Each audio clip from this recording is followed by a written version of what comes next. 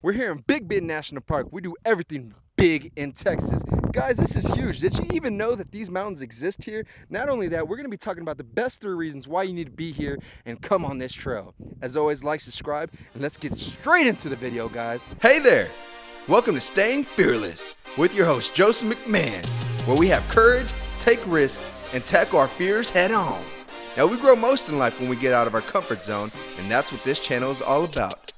So, likes, comment, subscribe, and as always, stay fearless. So reason number one, not only is it beautiful, not only is it nice, not only do you have the deserts, mountains, and rivers out here, but it is only freaking $30 to get in. $30? That's a for steal. seven days, man. If you want to take a trip out here, you want to come in your RV, your van, you want to go into Terlingua, Texas, which is the ghost town of Texas, which is like freaking gorgeous. That is going to be the closest town near here. Number two, did you know that we have one of the biggest bird species in the world? How peaceful is it whenever you go to your backyard, you sit on the patio, you hear the wind blowing, the water flowing, and the birds chirping. Chirp, baby. chirp, Now, chirp, chirp. gonna shut up for a little bit, and y'all just uh, enjoy this music and the scenery. We'll talk again here soon.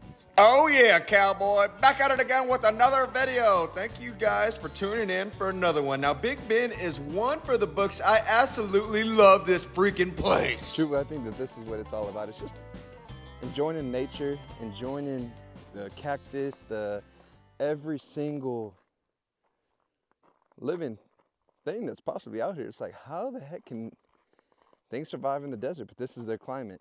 And uh, yeah, man, there's hundreds and what feels like hundreds and millions of freaking rocks. Check this out. Like so much time and energy goes into making these trails. It's amazing. But uh, yeah, you can get lost. It feels like uh, you're the only person out here. Um, I mean, just look around. I do think it's. I, I do think it is kind of dangerous.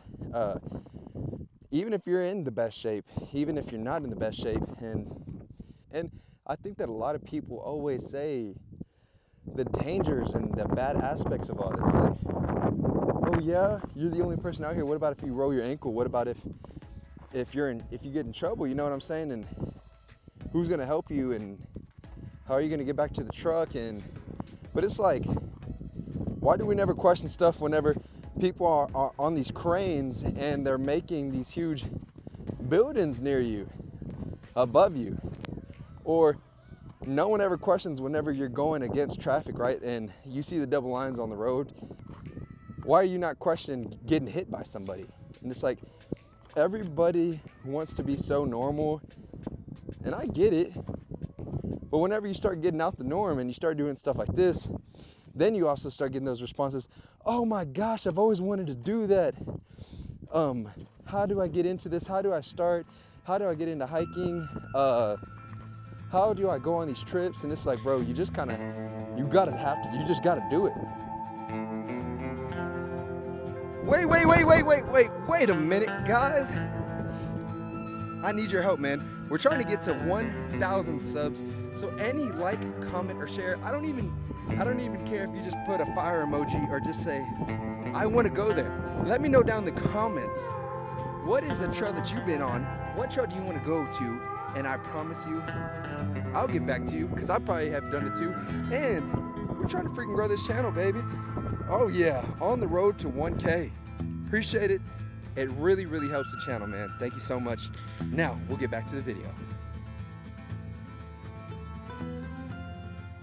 All right, Fearless fam. Now, I have some sad news. I'm to be honest with you. So, I really, really, really wanted to show you guys how beautiful it is whenever the water is here. I'm currently in a riverbed here, and uh, sadly, truthfully, it doesn't look like water's been here for at least a couple months, man. So, we're not at the end of the trail, but so far every single riverbed where water would be is completely gone. It's completely dried up.